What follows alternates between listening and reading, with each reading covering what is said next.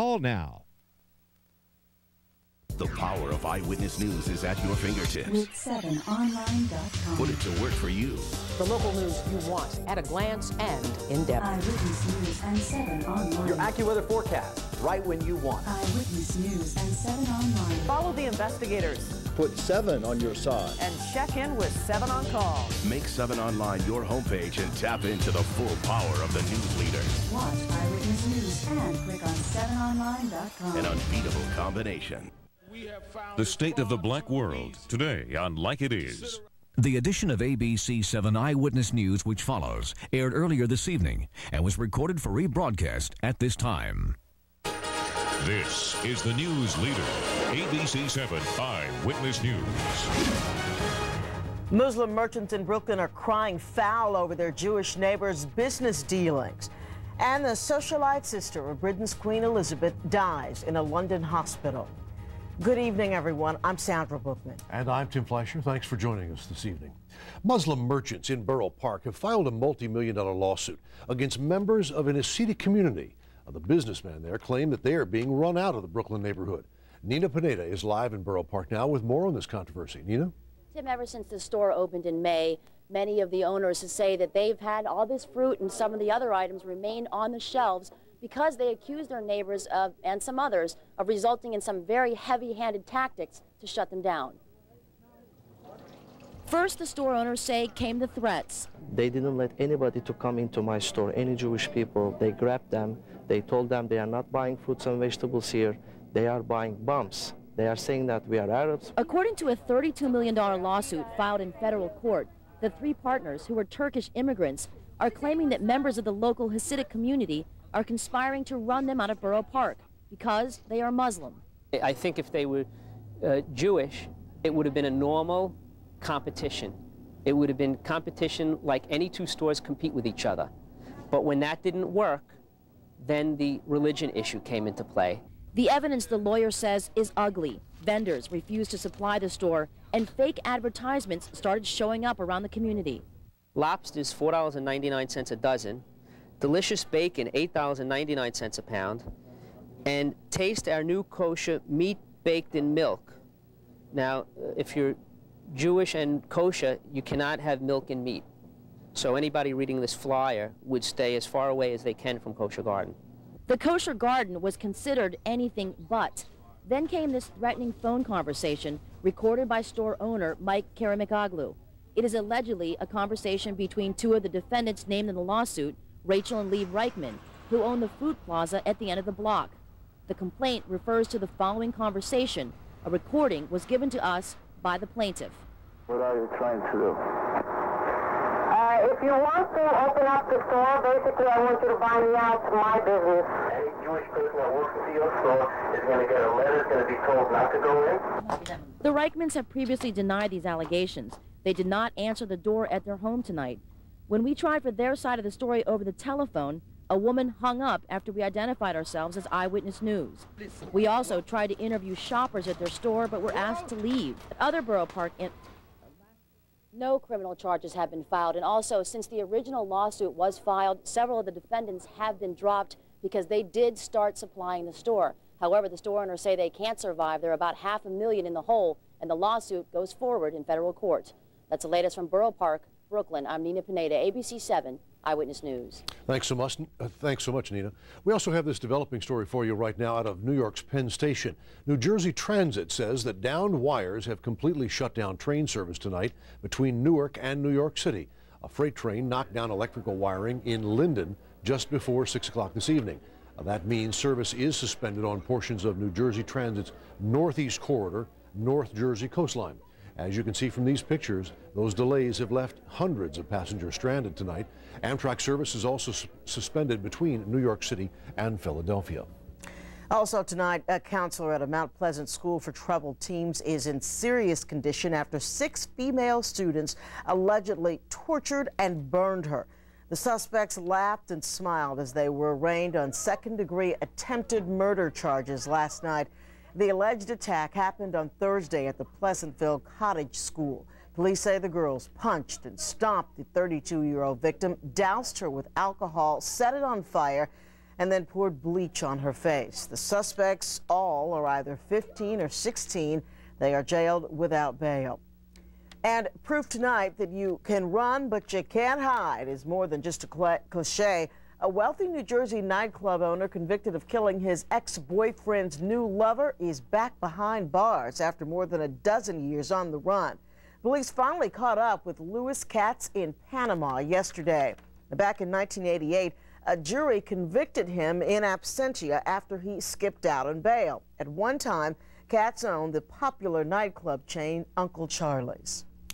Two little girls whose young lives were taken in a tragic fire in Newark earlier in the week were laid to rest today. Funeral expenses were paid by local merchants and their father, charged in connection with their deaths, was also able to attend. Taina Hernandez has our report. The sight of these tiny white coffins left barely a dry eye outside Newark's Church of the Nazarene. Dozens of teary-eyed loved ones attended the mass and funeral for eight-year-old Tasha Martinez and her six-year-old sister Destiny, including the man police are holding responsible for their deaths, their father. But friends and family who know this single parent who cared for his daughter say he shouldn't be made to suffer more than he already has. I can see the despair and the pain that's in these families' hearts. And it's even more pain by having this man arrested. First, we should be pointing fingers at ourselves to see which one of us have never committed a mistake. We all commit mistake. He committed a mistake and he's paying for it. Joseph Martinez faces two counts of child endangerment for leaving his sleeping daughters alone to drive their grandmother home. While he was on the road, their building caught fire. The girls were trapped inside. His family posted his $115,000 bail just in time for him to attend the funeral. Prosecutors had tried to block him from going. We were all praying for him and for his relief too, so he can come and, and be, you know, with his daughters at this last moment. There's been a groundswell of support for the Martinez family. Local merchants chipped in nearly $5,000 so they could afford the funeral. Even Newark's mayor sat through the service and sympathized. He loved his daughters. He cared for them, provided shelter for them. Bad decision making, yes. But to, but to suggest that he could not be at the funeral of his daughters, uh, I just disagree with that. The apartment building where the fire broke out no longer exists. It was demolished by the city for safety reasons. But the tragedy is still very fresh in neighbors' minds. They bring balloons and messages here daily, adding to a colorful remembrance. Taina Hernandez, ABC 7 Eyewitness News. To the mournful strain of taps, two more of New York City's bravest who died in the collapse of the World Trade Center were remembered today. Lieutenant Kevin Pfeiffer of Engine Company 33 and John Tierney of Ladder Company 9 were both from the same Greenwich Village firehouse. Tierney's fun funeral was held at St. Charles Roman Catholic Church on Staten Island. Pfeiffer's at St. Margaret's Roman Catholic Church in Queens. They were among the 343 firefighters who perished on September 11. So far, only 147 firefighters have been recovered and identified.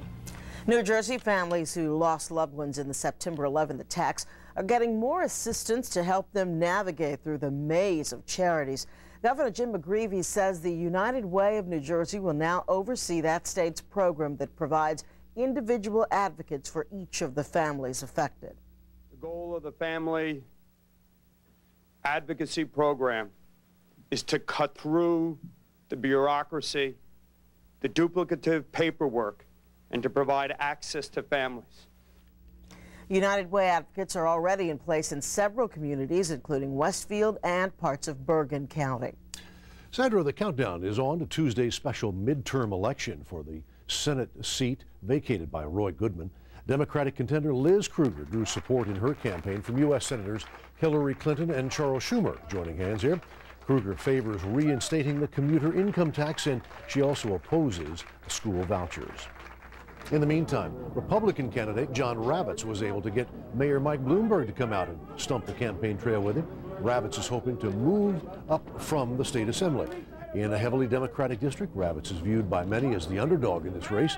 Both candidates have spent hundreds of thousands of dollars on their respective campaigns. Uh, trouble in Central Park. Those tree-eating Asian longhorn beetles are back. This time they are targeting trees in Central Park. The beetles first appeared in 1996 in a park in Greenpoint, Brooklyn. Now the Parks Department says two trees located in a wooded area near 59th Street are infested with the beetle. Those trees will have to be destroyed, and officials warn more trees could be next. Of New York City's estimated 5.2 million trees on public and private property, almost half of them are vulnerable to this voracious pest. And in urban areas across the country, 1.2 billion trees are potential targets. Now, workers are now said to be checking half of Central Park's 25,000 trees for beetle infestation. And the Parks Department has set up a toll-free number for anyone spotting Asian longhorn beetles in their own yards. That number is 1-800-201-PARK. Tonight, Britain mourns the loss of a popular member of the royal family. Coming up for you on Eyewitness News, we'll take a look back at the life of Princess Margaret. Also ahead, new information about the suspected kidnapper of a Wall Street Journal reporter. And later, Chinatown celebrates the Year of the Horse. We've got the pictures. And I'm meteorologist Lee Goldberg. Skyview 7 captured a beautiful day across the tri-state area. Lots of sunshine, just a few high clouds, temperatures in the 40s. While we had a great day, there was a blizzard brewing across the middle of the country. What does it mean for our weather? We'll talk about it in just a few minutes. It's a little something I've done every night since I was a kid. Empty my pocket change into this old jar. It's never much, just what's left after I break a dollar. And I never thought I could get quality life insurance with my spare change. Neither did I, until I saw a commercial for the Colonial Penn Insurance Program. Imagine people our age getting life insurance at such an affordable rate. If you're between 50 and 85, call now for free information on life insurance. This guaranteed acceptance life insurance is easy on your budget and just as easy to get. Now, there's no medical exam to take, no health questions will be asked. You know, for about 25 cents a day, you can have the protection to help cover your final expenses, and you cannot be turned down for any reason. This coverage cannot be canceled as long as you pay your premiums. Your premium will never increase, and your benefit will never decrease due to age. Plus, your coverage bill's cash value. That's money you can borrow against. You know, the average cost of a funeral today is over $5,000. And that can be a big burden for anyone to leave for their loved ones. I'm doing this commercial because I believe in the Colonial Penn Insurance Program. It's easy and affordable to get the coverage you need. Call now for free information and a free gift. All I did was make a phone call, and all of my questions about the Colonial Penn Insurance Program were answered. It couldn't have been any easier, and we both got the coverage we should have had for years now. Mm-hmm, with change to spare.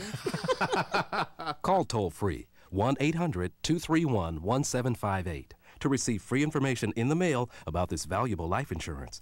Call 1 800 231 1758 or please visit our website at colonialpenn.com. There's no risk or obligation. That number again is 1 800 231 1758. The call is free, and so is this handy guide to Social Security. You can reach us at 1 800 231 1758 or at colonialpenn.com. Call now.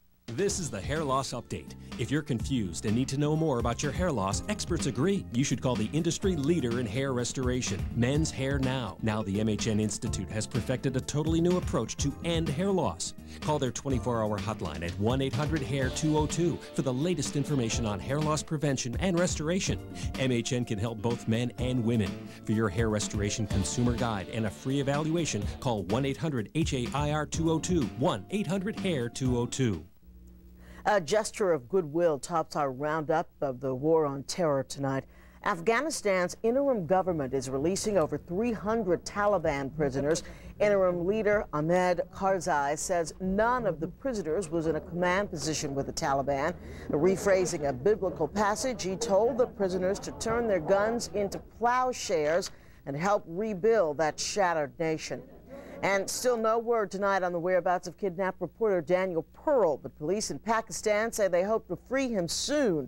Pakistan's president is accusing nuclear rival India of orchestrating the kidnapping. Meanwhile, a key suspect in Pearl's abduction is still on the loose. Tonight, a British princess is dead. Buckingham Palace says that 71-year-old Princess Margaret passed away in her sleep early this morning at a London hospital after suffering a stroke. ABC's Adora Udoji has a look back at the life of Queen Elizabeth, Elizabeth's only sister. Princess Margaret, stylish as always, still looked increasingly frail during her last public outings. Friends say she never fully recovered from a 1998 stroke suffered while vacationing in the Caribbean. What a life! The second daughter of King George VI, Princess Margaret never expected to become queen. Instead, she became known as the Royal Rebel, a trendsetter, the life of the party. At 22, she fell in love with a 38-year-old war hero, Peter Townsend. But he was divorced, running afoul of the Church of England. It was scandalous. The headline screamed, they must deny it now. She chose duty over love, and they were never married. When she did find a husband, it was an unconventional choice, a man without royal blood, photographer Anthony Armstrong Jones, later known as Lord Snowdon. They had two children, then divorced after 18 years. The princess always said her role was to support the queen. They were very close. But friends say very different. The queen, a reserved woman, Princess Margaret, a sparkling star that drew people. In Britain, She'll be remembered for her kindness.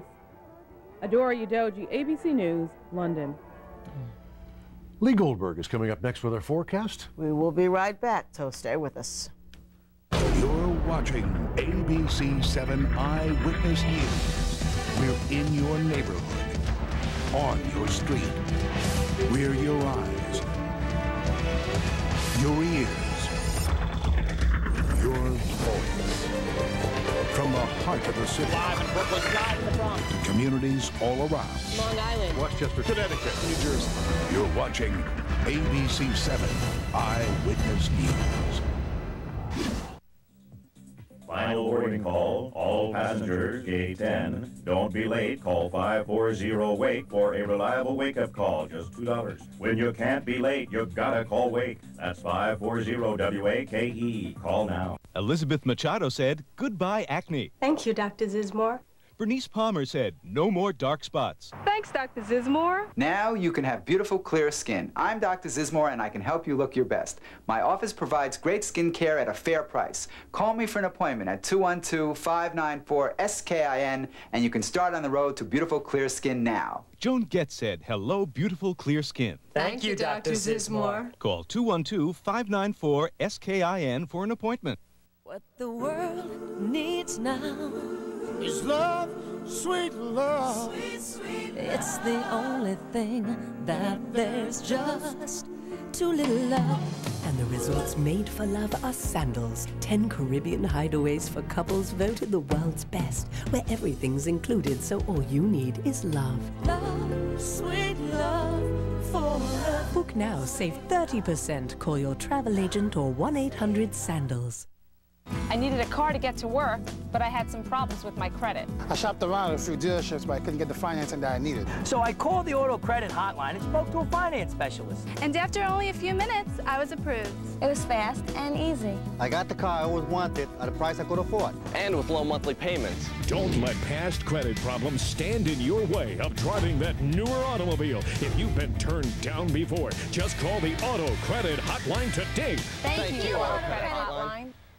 In other news, George Taylor was expected to be promoted today at cryogenics. Mr. Taylor failed to show. Company officials are concerned. He should have called 540-WAKE at just $2 for a reliable wake-up call. When you can't be late, you gotta call WAKE. 540-WAKE. Wife tired of picking on Marvell, so we turn to Lee now.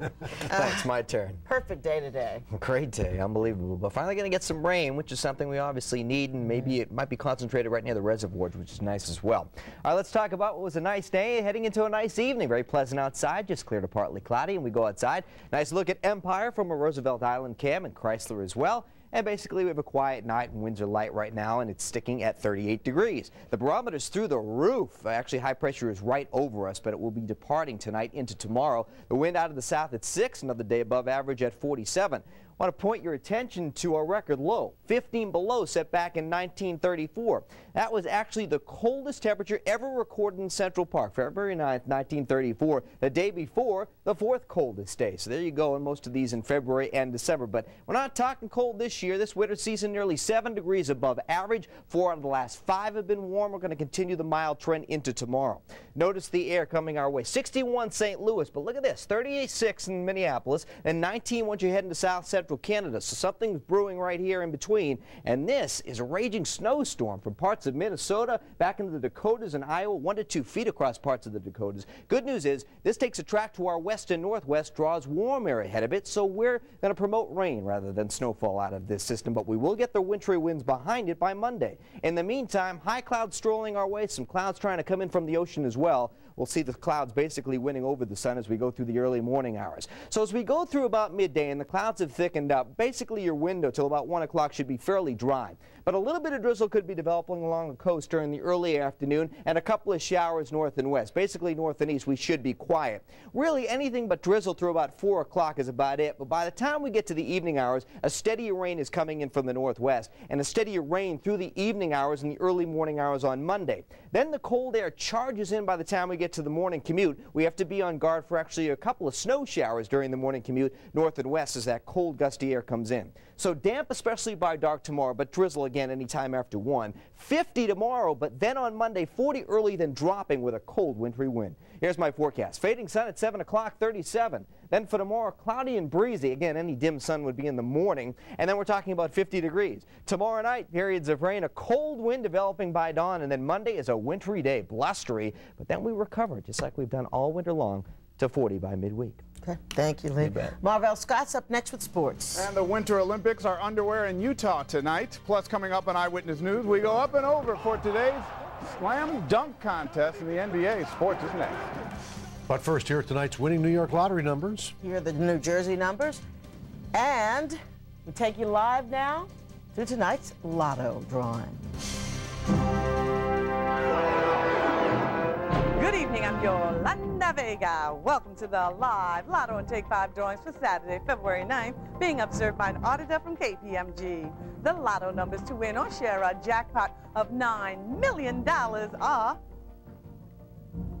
28, 46, 25, 16, 48, 29, and bonus number 12, making tonight's winning lotto numbers 28, 46, 25, 16, 48, 29, and bonus number 12.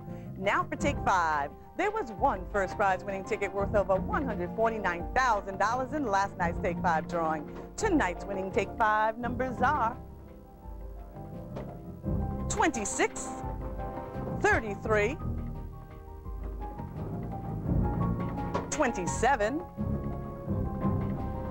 21, and 18. Thank you for joining us and have a good night. The Eyewitness News Investigative Unit has a toll free tip line. If you have any newsworthy information, please call 1 877 TIP News. That's 1 877 847 6397. Your call will remain confidential. Closed captioning provided by your Lexus dealers. Problems recording your favorite TV show? Let the VCR Copilot take over. The easy, fast way to record your favorite shows. No confusing menus or complicated manuals. Just pick the channel you want to record. And with the Copilot, it's as easy as one, two, three. One, pick the day. Two, set the start time. Three, set the stop time. That's it. Records the exact time and day you choose. Anybody can do it. Never miss a show again. The VCR Copilot. The Copilot's available at Kmart, Genovese, Walgreens, and Duane Reade. At Eyewitness News, we care about schools and your kids. So we make education reporting a part of what we do. That's why Eyewitness News has a special team dedicated to children in schools, led by our education reporter Celeste Ford. So watch the news that's on top of education. Eyewitness News right here on ABC 7. You're watching ABC 7, New York. The power of Eyewitness News is at your fingertips. With 7online.com. Put it to work for you. The local news you want at a glance and in depth. Eyewitness News and 7 Online. Your AccuWeather forecast, right when you want. Eyewitness News and 7 Online. Follow the investigators. Put 7 on your side. And check in with 7 on Call. Make 7 Online your homepage and tap into the full power of the news leader. Watch Eyewitness News and click on 7online.com. An unbeatable combination. All right, we return to Marvell for sports. We're talking Olympic news. Exactly. Americans trying to start things off in the right direction. The United States is making the home crowd proud on the first day of Olympic competition in Salt Lake City. We can't show you the events, but as the saying goes, a picture's worth a thousand words. In women's mogul skiing, Shannon Bahrke of Tahoe City, California, became the first American to win a medal in this year's Winter Games. She won the silver, but the shocker of the night was pulled off by American Derek Parra. He won the silver in men's 5,000 meter speed skating. Well, leading up to tomorrow's NBA All-Star game, the high-flying slam dunk contest took center stage today in Philadelphia. No, there was no Vince Carter, no Michael Jordan, but still plenty of air up there. The Nets' Jason Kidd soaking in the All-Star energy. Jason Richardson, Golden State Warrior, golden right there. Oh, my. And then Gerald Wallace up and over his teammate Chris Webber. That's good for a trip to the finals. Got some skills, and it was there Richardson, the rookie who took home the crown with that reverse jam, he is your slam dunk champion. Well, from under the rim, we head to the shooting range where the Kings' Peja Stojakovic went bombs away in today's three-point contest. He found the groove, edging out Steve Nash and Wesley Person in the finals to win it.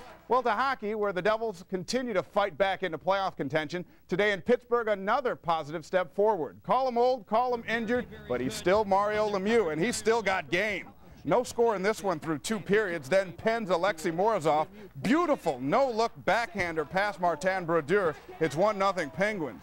Penn's goalie Johan Hedberg was a lock in front of the net tonight, saving the first 33 shots on goal. But the Devils broke through in the third. Brian Rafalski's shot is deflected in there by Bobby Holik into the net. That ties it at one to send it to overtime, and it was there with 8.6 seconds left. Holik sets up the one-timer. Brian Rafalski blasts it home. The Devils pull it out, winning 2-1 in overtime. Great finish.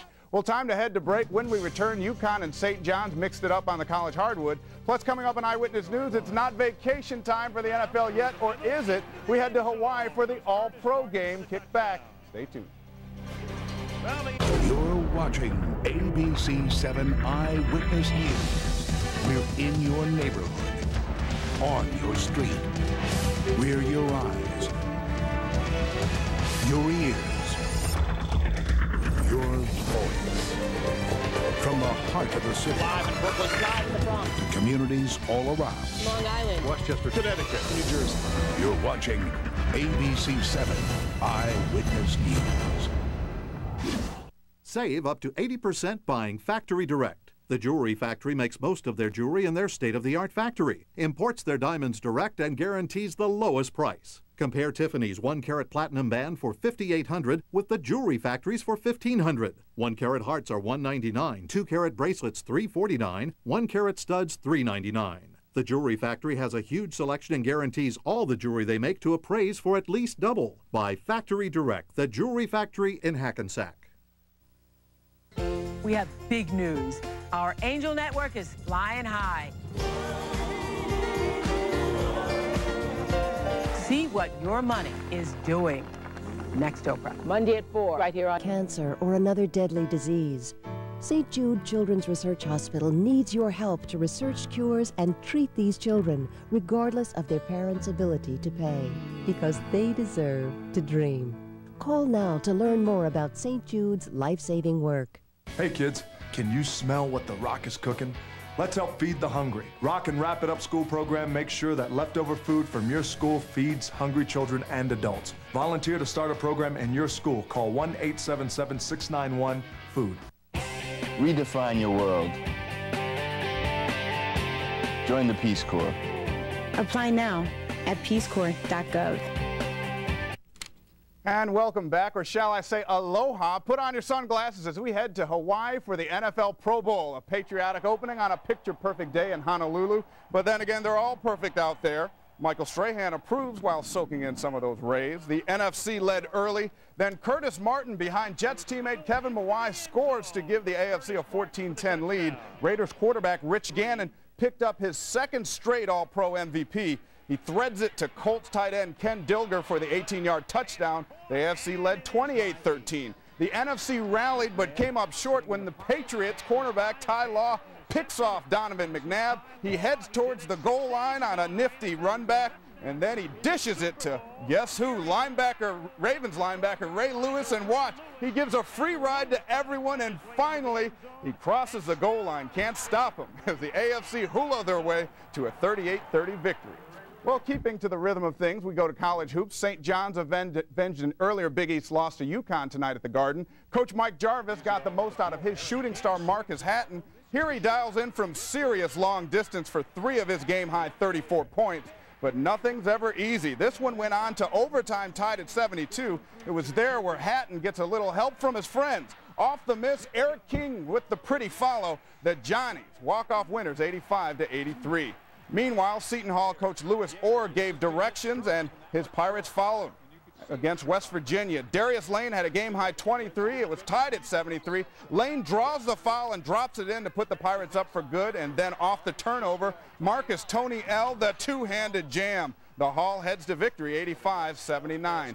Also, Georgetown and Notre Dame gave new meaning to the word overtime. It was tied up after two overtimes. Then in the third, the Hoyas' Kevin Braswell nails the three for G-Town, but it came after the buzzer, so it was no good. So we go to a fourth overtime. That's where Notre Dame's Matt Carroll drops it in from long range to put it out of reach. The Fighting Irish win 116-111 in the longest game in Big East history.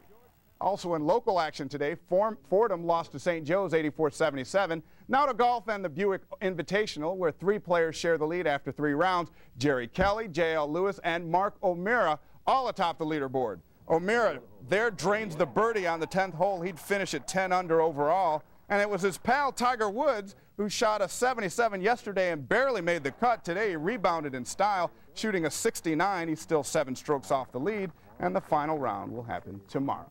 And that's sports. I'm Marvell Scott. In that tournament, John Daly is lurking just one stroke off the leader pack there. Okay. Big night. Yeah, Thank you, Marvell. those jams. Well, if you have already given up on your New Year's resolutions, I had, I think I had Twinkies yesterday. Mm -hmm. You have a second chance tonight. It's the Chinese New Year.